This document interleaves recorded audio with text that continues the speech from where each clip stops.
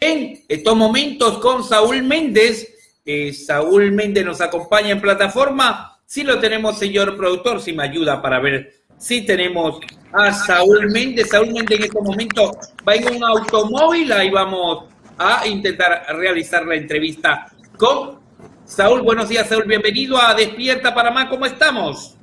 Buenos días, Honorio. Bien, gracias por ahora. Un saludo a todos tus televidentes, oyentes, a los que en redes nos van a observar. Y bueno, estamos aquí tratando de, ver cómo enfrentamos todas las vicisitudes que hay en estos momentos en el país y, fundamentalmente en los trabajadores y el pueblo, que es lo que más sufre la actual situación. Saúl, eh, voy a iniciar hablando sobre eh, la la ley que no es ley, decreto que no es decreto, acuerdo que uno debe firmar con los bancos en estos momentos para llegar a algún acuerdo, para no perder, y lo otro es pagar eh, las deudas que uno tiene en su punto de vista ante este tema, porque ya se venció el 31 de septiembre.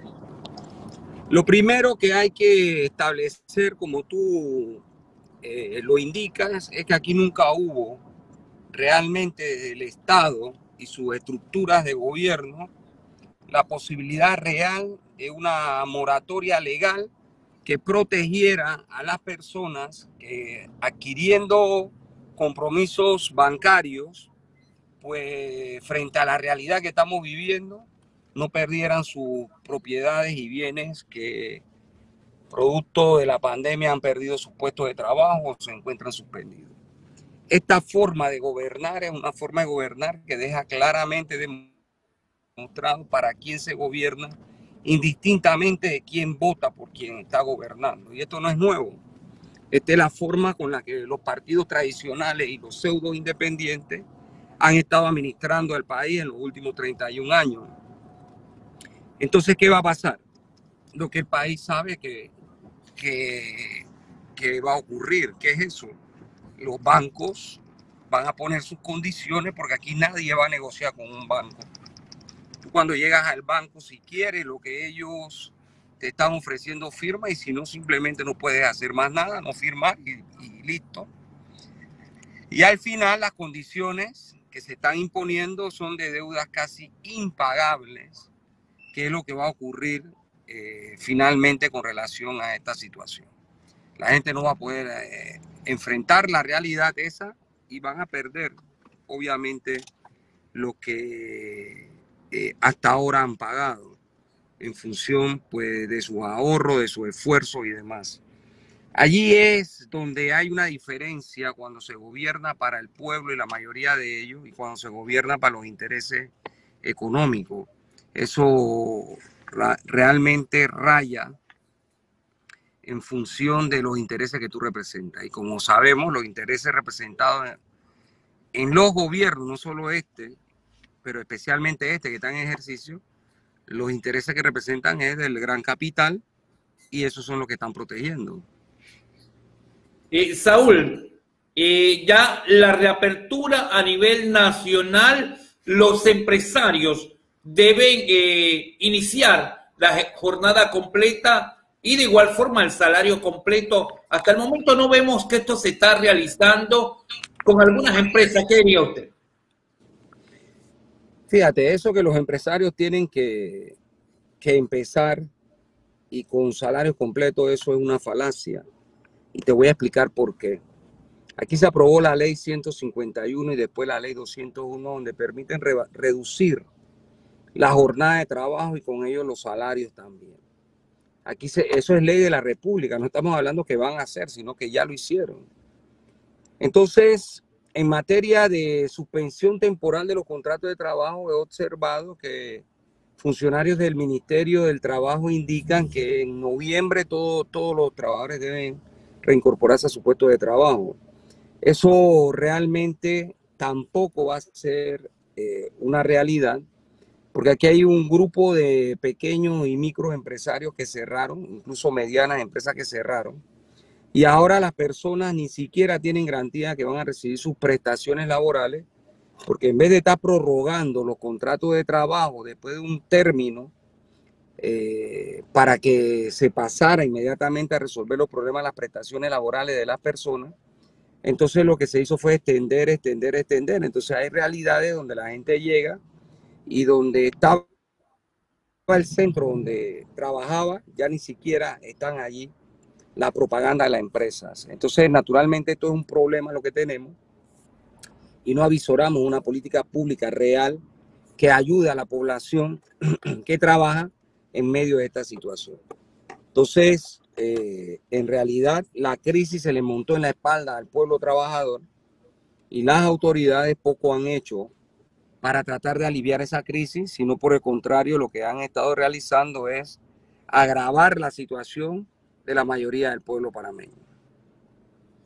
¿Cómo enfrentar esta realidad que usted dice eh, de los empresarios? Algunos dicen que el gobierno nacional le dio millones a los empresarios que no le ha dado a la clase media que se está desapareciendo. Vemos eh, cierre de empresas, cierre de negocio y las personas no saben qué hacer. ¿Qué diría usted? Fíjate, esa es parte de una política equivocada que se ha llevado adelante. En el caso europeo, por ejemplo, desde la crisis del 2008, los estados europeos crearon algo que se llama eh, un fondo, un fondo para primero garantizar salarios a los trabajadores entre 70 y 50%. Y también poder subsidiar a las empresas para que no quebraran.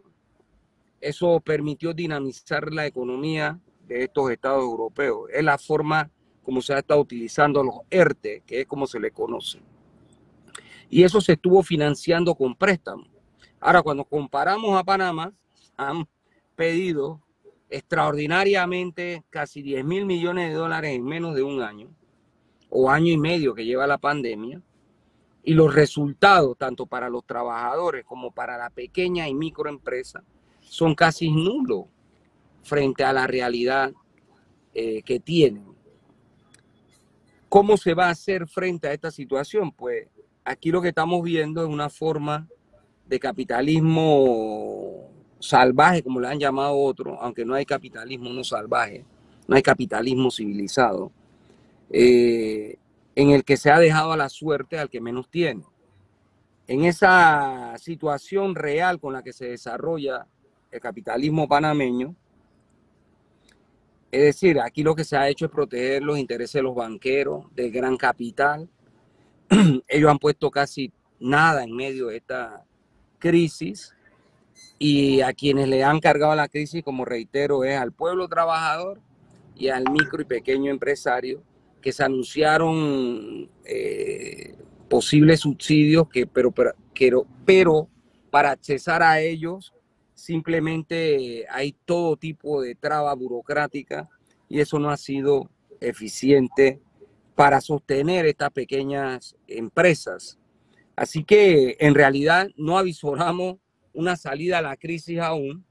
Lo que vemos es que se está profundizando la crisis y la profundización de la crisis trae como consecuencia mayor miseria, mayor desigualdad, mayor hambre en Panamá, Fíjate que la crisis está de tal magnitud que no solo los trabajadores han perdido su puesto de trabajo, sino que las personas, los trabajadores y sus familias que deben estar parados por el seguro social van a demandar atención médica, no hay, van a demandar medicamentos, no hay, van a demandar exámenes de su salud, no hay.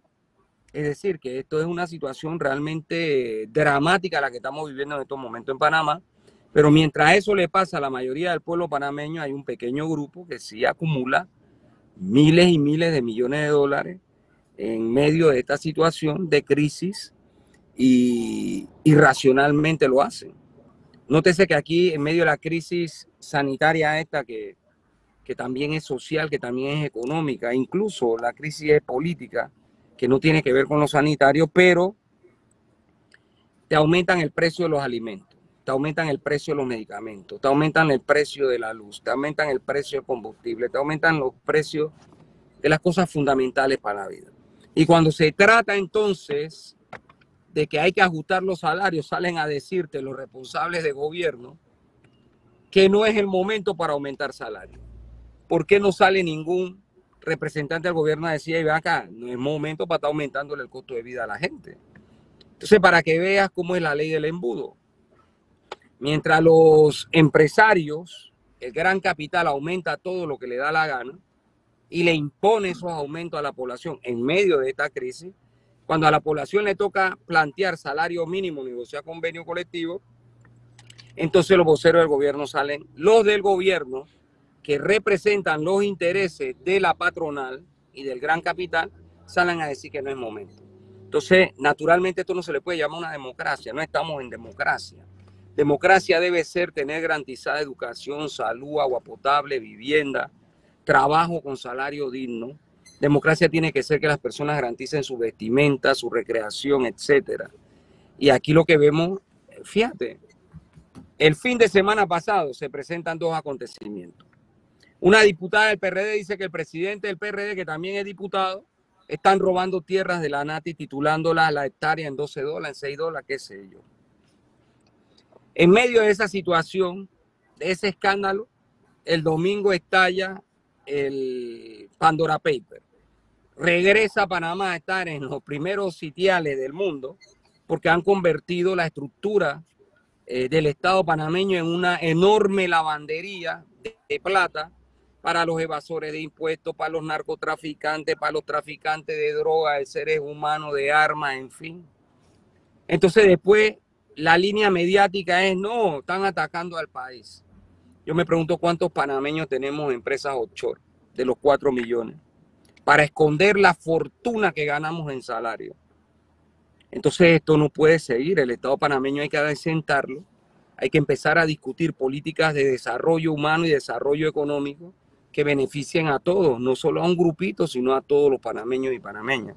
Entonces es una situación realmente compleja en la que estamos, pero el pueblo tiene que jugar un papel en medio de esta cosa.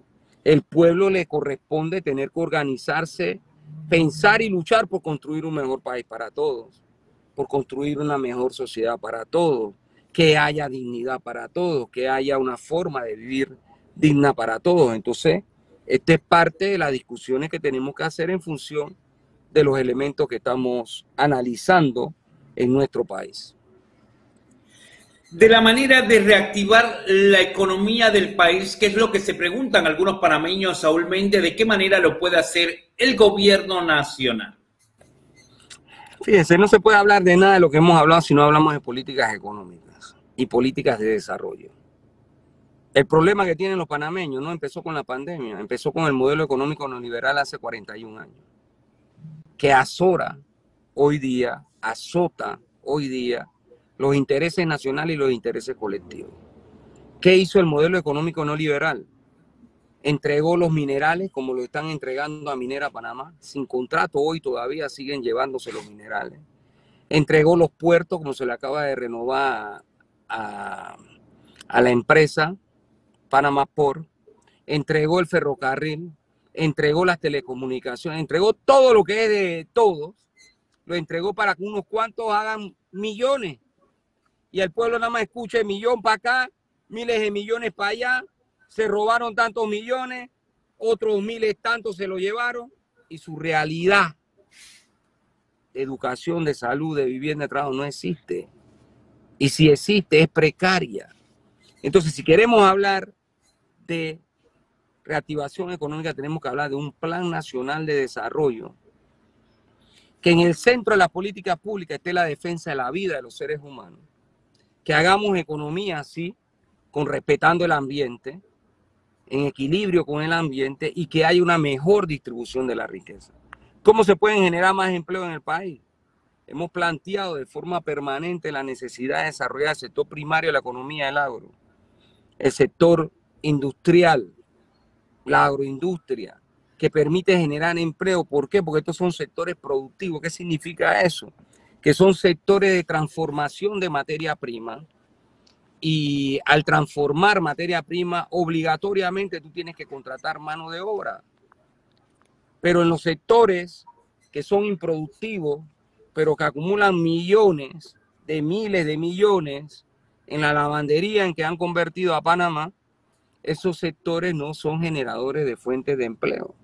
¿Qué sectores son esos? Bueno, sector de la banca, la finanza, etcétera. Que ellos sí demandan un grupo de fuentes de empleo, pero no la cantidad que requerimos para poder reactivar esta situación. Esto debe ser acompañado de igual forma, por ejemplo, con las necesidades fundamentales que tiene la población. Aquí la construcción de infraestructura pública, sean potabilizadoras, carreteras, escuelas, hospitales, tiene que ser la forma en que se vea la posibilidad de dinamizar a través de la construcción una parte de la economía. Pero ¿qué resolverías con eso? Resolverías varios aspectos. Primero, la necesidad insatisfecha del pueblo. Segundo, generaría empleo. Tercero, además de eso, está eh, generando desarrollo humano porque a la gente le está llegando el agua, a la gente, las escuelas están en buenas condiciones, los centros de salud también, en fin, estás resolviendo problemas de carácter social, estás resolviendo problemas de empleo y estás redistribuyendo un poco mejor la riqueza. Entonces eso es lo que hace falta para hablar realmente de reactivación. ¿Qué empieza a ocurrir? Empiezan a hablarnos de crecimiento económico. De crecimiento económico hemos tenido por lo menos los últimos 15 años. Pero ¿qué ha pasado en los últimos 15 años? Con todo el crecimiento económico, Panamá se encuentra en el sexto lugar del mundo, de todos los países del mundo, en el sexto lugar. Y segundo en América Latina, donde hay peor distribución de riqueza, donde hay mayor inequidad, donde hay mayor desigualdad, etcétera. Entonces, si solo se habla de crecimiento económico para seguir bajo la misma lógica con la que se ha desarrollado en estos últimos 31 años eh, la pseudo-democracia, naturalmente los problemas estructurales que tiene la sociedad panameña hoy, como por ejemplo los 400 mil personas que padecen de hambre, como por ejemplo el desempleo, como por ejemplo eh, el deteriorado sistema de educación pública, de salud pública y demás, se va a seguir agravando. Entonces estamos obligados a buscar un mejor país para todos. Yo creo que lo que estamos diciendo aquí es lo más racional en función de los intereses de las mayorías, en función de los intereses del Estado Nacional, para buscar un equilibrio entre el desarrollo eh, económico, con el desarrollo humano y con el ambiente. Eh, eh, es determinante esto para poder cambiar la situación que tenemos en estos momentos medida que toma el Suntrack ante la realidad que vive el país, Saúl Méndez? Bueno, Suntra frena eso con UCI, el Frente Amplio por la Democracia, junto a otros sectores del movimiento popular, vienen primero organizándose, organizándose, haciendo planteamientos como el que estamos haciendo, presentando propuestas como las que se están presentando, pero adicionalmente a eso luchar. Si no se lucha, no se consigue lo que queremos. El modelo de sociedad que estamos buscando, el tipo de democracia real que estamos buscando, solo se va a poder realizar si el pueblo se organiza y lucha. Y una parte del pueblo está organizado y está luchando, pero el resto del pueblo tiene la obligación de tener que esforzarse por organizarse y por luchar para que transformemos la realidad del Estado panameño. Como venimos insistiendo con una propuesta de reforma constituyente originaria que funde el Estado. ¿Por qué es necesario volver a fundar el Estado? Porque las estructuras creadas hasta hoy realmente han sido estructuras que se han corrompido en los poderes del Estado formal, ejecutivo, legislativo, judicial. Se ha hecho un entramado de normas jurídicas que benefician la corrupción Incluso una parte de la corrupción en Panamá está legalizada, existe en ley. Otra parte es debajo de la mesa. Es decir, eso que acaba de ocurrir, los Pandora Papers, esos elementos de corrupción que se dan allí están normalizados, están legalizados. Por eso es que usted ve que salen voceros del gobierno o, de los grandes bufetes de abogados eh, a defender esa situación porque ellos dicen, no, si el tipo no paga allá, él, es delincuente allá.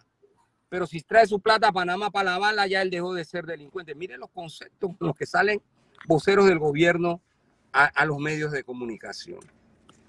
Es decir, si usted trafica en un país distinto al nuestro armas y después usted trae los dineros de ese tráfico a los bufés que hacen empresas offshore o empresas fantasma, entonces usted dejó de ser un traficante de armas para convertirse en un, en un hombre honorable, porque aquí en Panamá le hacen una offshore y usted lava el dinero de esa situación. Entonces, esto no puede seguir siendo. E, esta situación hay que acabarla. Entonces, ¿qué bien? Bueno, y en una situación muy dura, pero en esa situación difícil, si el pueblo se levanta en sus propios pies y además de ello lucha por cambiar el país, entonces tendremos la posibilidad de vivir mejores días. Y a eso estamos apostando nosotros. Y para ello hemos estado dinamizando una serie de acciones de concientización, distribución de volantes, de marcha, piqueteo, etcétera, para levantar el espíritu de nuestro pueblo por conquistar un mejor país. El día 20 de octubre, casualmente, hay una marcha que va a ser dirigida a la presidencia de la República y allí, pues, volveremos a insistir nuevamente sobre los aspectos como creemos nosotros se deben desarrollar la situación. Y su dicho sea de paso, debo informar, y esto es una primicia que ningún otro medio tiene, ni siquiera los propios, que ayer nosotros tuvimos una reunión con el Ejecutivo, el presidente y la ministra del Trabajo, eh, Genaro en nombre de Conus y mi persona en nombre de Suntra, planteándole estos elementos que estamos planteando acá, eh, a efecto pues de, de, que se reaccione en defensa de los intereses de la mayoría del pueblo. Así que esto es importante en función de que nosotros somos del criterio que el país tiene que cambiar. Hemos insistido una y otra vez en esa posibilidad buscando un mejor país para todos. es el objeto que nos, mueve y de allí entonces todas las acciones que estamos llevando adelante por tratar de eh, enfrentar nuestra dura realidad. Saúl, ¿ante qué se enfrenta el país en esos momentos? Estamos muy cerca, como nosotros lo entendemos, de una explosión social. Porque hay mucha, mucha, mucha injusticia. Y esa situación incluso podría ser normal en función del nivel de explotación y de opresión que tiene el pueblo. Este es una realidad que, pesa, que pesa. Y obviamente, mientras la mayoría sufren, como acabo de expresar hace un rato, otros roban. Ya dije la denuncia que hizo la diputada al diputado presidente del PRD de que se están titulando tierra en bocas del toro en 6 y 12 dólares la hectárea. Entonces, obviamente, mientras el pueblo no tiene medicamentos, mientras las escuelas no la repararon en medio de este problema, mientras la situación se, se agudiza para la mayoría y el festín de los millones van para allá y vienen para acá, entonces obviamente llega el momento que ya esto es insoportable. Pero cualquier situación que se dé debe apuntar a nuestro entender a cambiar el actual orden de las cosas a cambiar las estructuras del Estado panameño, a cambiar las normativas que existen, a buscar un modelo de desarrollo económico que sea capaz de poder traer satisfacción material a, las personas, a desarrollar económicamente el país, sí, pero con desarrollo humano, pero también con equilibrio en el ambiente. Entonces, es decir, eh, estamos en momentos decisivos de la, de la, de la patria, ¿no? Y creo que el, pueblo tiene que jugar un papel determinante en todo esto. Es el pueblo el que puede cambiar toda esta historia. Y a ese pueblo es el que hemos estado apelando nosotros porque se levante, piense y luche, se organice para enfrentar su dura realidad. Saúl, el tema de las calles y ahora la inseguridad es percepción del pueblo panameño. Los que dirigen el país no lo ven así. Eh, el día de ayer estuve hasta Tocumen y veía la realidad de las calles, difícil transitar por el mal estado, pero es una percepción. ¿Qué diría usted? Bueno, algunos viven en Alicia, en el País de las Maravillas, mientras la mayoría vive sus penalidades, ¿no?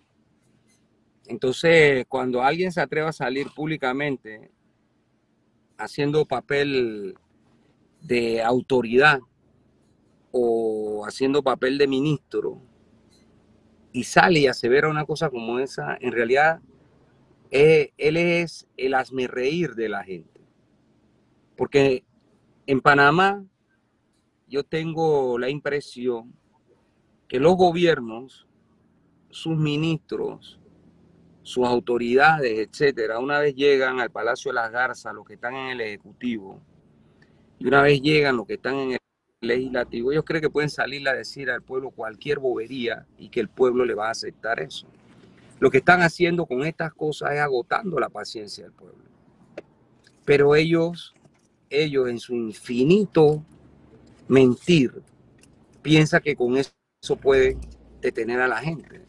Pero están echando agua al molino del pueblo, del cansancio del pueblo, cuando tú sales y dices algo como que la, la infraestructura está bien, etcétera, o cuando tú sales y dices algo como la percepción de la criminalidad es una percepción, cuando todos los días hay un ejecutado, etcétera, y la excusa de la ejecución, bueno, al que ejecutaron ese, él estaba en una banda, el otro también, son problemas del narcotráfico, así que ustedes tranquilos, que ellos se están matando entre ellos y no hay problema. Pero todos nosotros sabemos que en esos problemas eh, de pandillerismo, de, de robo, hurto, se generan fundamentalmente por la exclusión de la mayoría de la población, especialmente por, población joven. Cuando tú tienes un país que no tiene una política de empleo seria para su pueblo, cuando tú tienes un país que no genera oportunidades, cuando tú tienes un país en donde tu educación pública no, cada vez se va deteriorando más producto de las políticas públicas que han ejecutado los ministros y los gobiernos. Cuando tú tienes un país donde la gente no le llega agua, cuando tú no le garantizas la vida material a la gente, entonces tú invitas a una parte de ella a salir a, delinquir, a organizarse en bandas delincuenciales, en fin. Y eso no puede ser el futuro que queramos para, para nuestros hijos, para nuestra juventud. Nosotros por lo menos soñamos con un futuro donde el pueblo tenga satisfechas sus necesidades, donde la juventud tenga un proyecto de desarrollo, donde la gente tenga esperanza de por qué trabaja y por qué desarrolla el esfuerzo por echar al país adelante. Y, naturalmente cuando hay este tipo de declaraciones, lo único que ellas aunan es al colmo de la gente, ¿no? al fastidio de la gente, porque al fin y al cabo, a pesar que como someten al pueblo, y el pueblo tolera, tolera y tolera, llega el momento que esto se acabó, cero tolerancia y empieza de otra manera la situación, ¿no?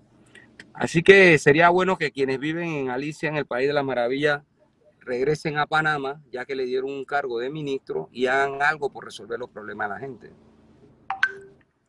Así es, Saúl, mil gracias por habernos acompañado en la mañana de hoy en Despierta Panamá. Gracias por tomar parte de su tiempo y de su agenda para darnos a, nosotros la entrevista. Así es, voy a ir a la pausa comercial. A regresar, continuamos en la parte final de Despierta Panamá. Entraremos en materia de entrevista y de igual forma con algunas informaciones. Usted Gracias, gracias por la oportunidad.